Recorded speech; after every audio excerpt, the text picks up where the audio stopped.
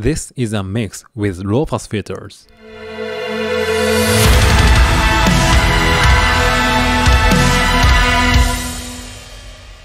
This is a mix without low pass filters.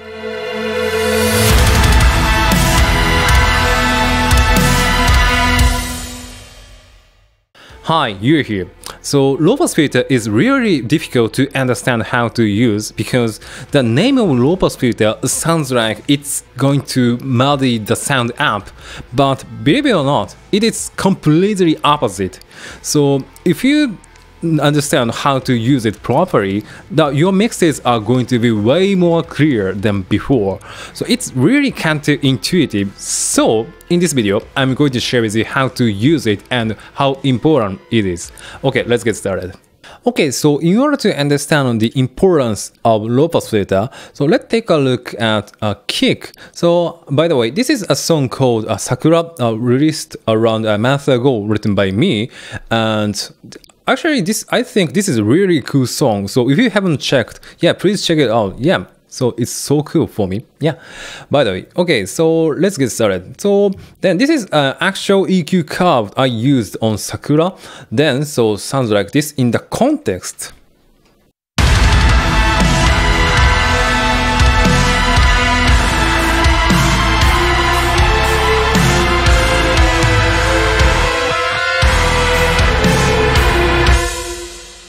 Okay, so then I'm going to remove this low pass filter at uh, 6, 6k hertz and then in the context it sounds like this.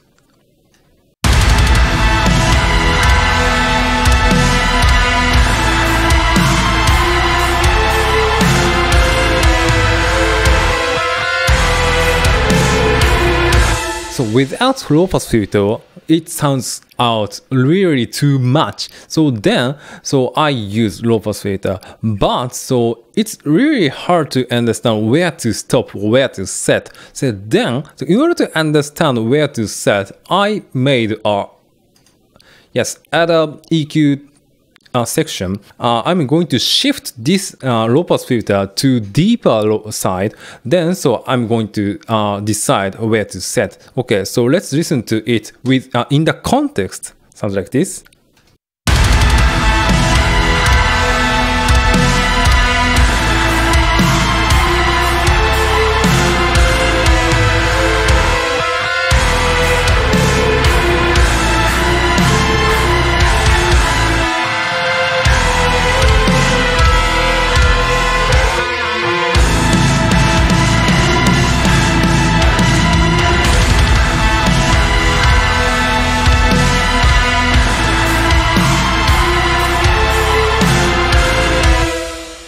Yes, so around 10k, uh, we, uh, the kick is going to lose uh, tons of information around uh, high end.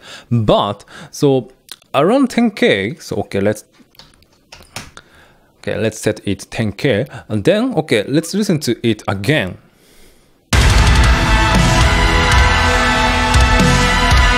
Yes, so it starts losing uh, high end information uh, from 10k hertz but so the information uh, lost from this frequency is not important i think because okay so let's flip out this low pass filter to high pass filter.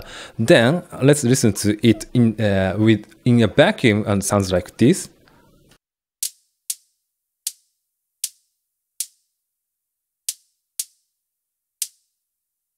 So frequencies I cut is sounds like this. Do you guys tell that uh, this is a kick uh, by listening to this sound? Actually, I can't. So that's why I said that this information is not important. So okay, let's uh, get back to low pass filter. Then, so in in a vacuum sounds like this. Now it has uh, tons of clicky sound yet. So then so i think this is a really great uh, position to set uh, low pass filter but so i want to set uh, more deeper uh, because uh, that this song is really uh, lo-fi vibe uh, because so by the way this song is um, based on the traditional Japanese song. Then so I wanted the song have more a lo-fi vibe or more traditional vibe. Then so I set the EQ more deeper uh, area. So then so let's uh, shift to EQ deeper side. So sounds like this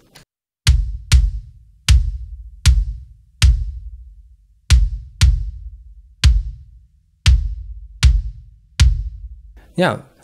Around 6k the kick is going to lose the really important information. So the creakiness of the informa uh, the kick sound. So then i stop around here 6k so then okay let's listen to it in the context again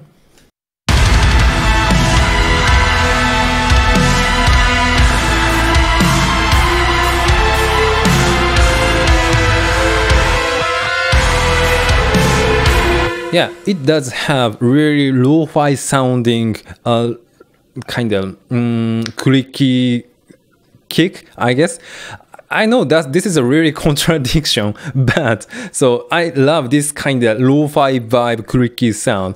But if you like more a hi-fi sound, it's gonna be here probably sounds like this.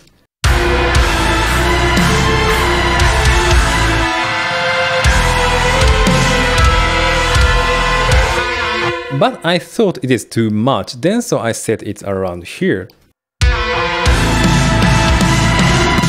This is how to set low pass filter, but you guys know that the core of kick sound is lower frequency around uh, 100 hertz or something like that. Then so that's why we can uh, shift low pass filter really deeper area. But so what if the track has tons of high frequency information such as cymbals. Okay, this is an EQ curve of the uh, cymbals uh, in the songs. Then, okay, let's listen to it in the context and then I'm going to remove this low pass filter and then I'm going to talk about it. Okay, sounds like this.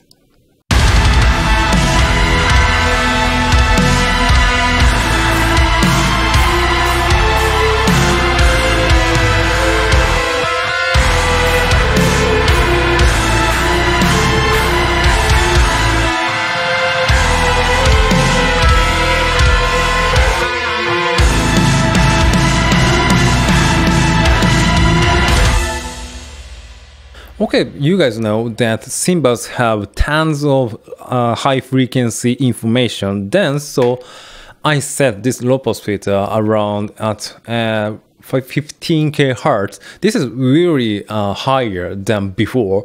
So because reason why is that higher frequencies are really important. So on this track, but so if I set it lower, probably it's going to be really muddy. So sounds like this.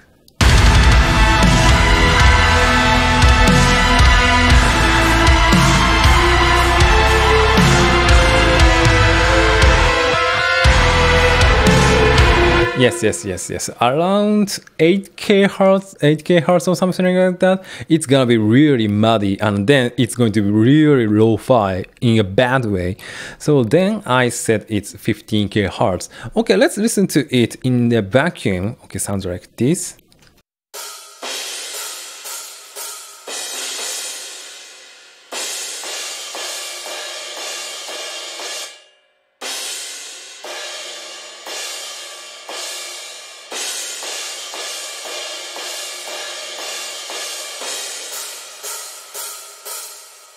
Okay, so by setting this low pass filter at by uh, at 15k hertz, actually it doesn't lose tons of information of cymbals, but it cuts around it cuts information of hi hats. Uh, it's going the hi hat's going to be uh, really uh, a little bit attenuated. It's gonna not have tons of uh, ear piercing frequencies and uh, sizzle of hi-hats. So that's why I set 15k hertz. But so around here,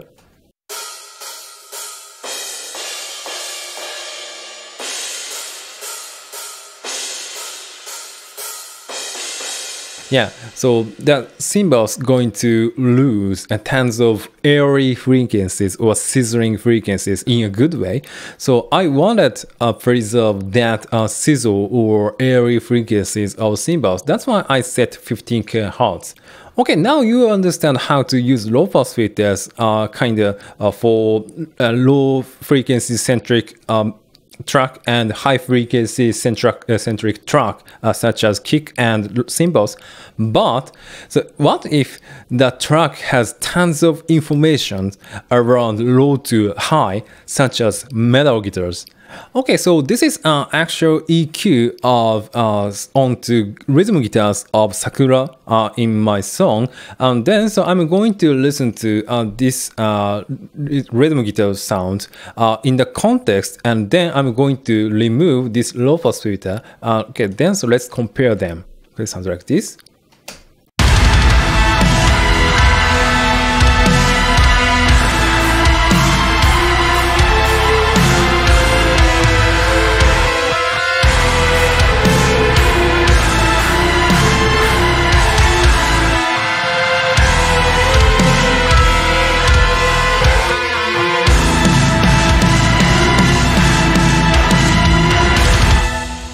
Yes so to be honest with you guys it's hard it's really hard to tell the difference. But if the guitars are listened to in a solo like for example like this.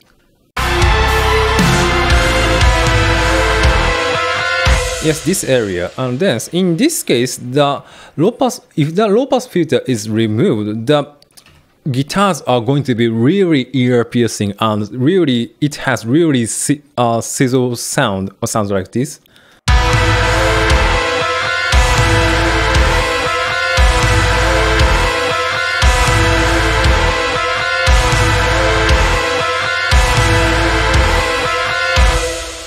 Yes, so difference is really tiny, but so in order to understand so how less important the these these areas are, so I flip it out and then sounds like this.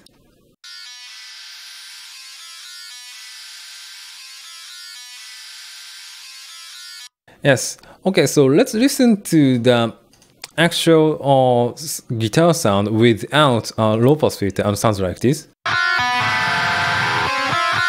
in a vacuum, we tend to think this sounds good, but in the context, there is a no difference. So then we could cut, uh, we can cut this uh, this area. So so, but by this cutting this area, what did I get? So we got tons of headroom of this truck. Yeah. So yeah. So difference. If the difference is tiny, we can cut because we it's not audible. So I think the inaudible sound should be cut uh, in order to get uh, tons of headroom onto your track. Yeah, this is the reason why I cut uh, this uh, guitar sound at 7k hertz. Yeah. But so, yeah, it is really counterintuitive. But if I cut this frequency, the uh, sizzle uh, is not going to conflict onto uh, cymbals. So this is a really a great technique for me to separate the the area of instruments because cymbals should be higher range and guitars are mid-centric uh, instrument I think. So then they should be in the mid and kick is lower frequency centric instrument then it should be lower then so lower is kick mid is guitar and then higher is uh, cymbals. What is mixing? So mixing is not processing. Mixing is where to set instrument. So for example, so lower is lower and higher is higher and left one is left, right one is right, or something like that. Then so it's not processing. Mixing is where to set, I think. Then that's why we set a low pass filter and high pass filter to uh, attenuate uh, the less important frequencies. Okay, that's all for this video. Then so actually this is a really niche video because low pass filter is really hard to understand. So as I said earlier, but once you learn how to use low pass filters and compressors, your mixes are gonna be really professional sounding mixes, I think. So that's why I made this video for you guys. Learning sexy stuffs are really enjoyable, but actually mixing is not kind of a fun thing, I think. yeah, so that's why I made uh, this niche video. Yeah, yeah. So if you enjoyed this video, please subscribe and smash the like button. Then, so until next time, bye bye.